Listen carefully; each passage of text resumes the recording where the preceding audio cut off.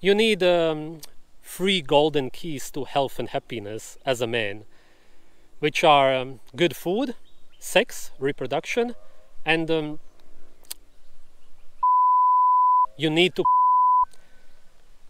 There's no way that you will not end up being depressed if you don't do what you're naturally supposed to do, and you are supposed to.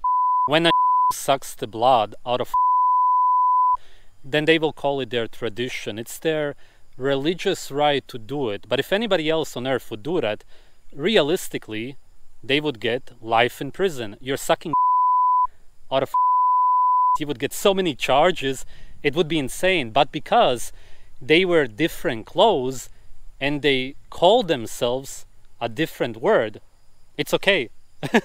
Why do the Amish, Mennonites, all of the properly religious people not want to use electric devices? Satan was always portrayed as um, this being that came down to earth through lightning, electricity. The properly religious people were always against using anything that has electricity. And a hundred years ago, most people on earth didn't have electricity in their homes. That's crazy, right? Now everybody pretty much does.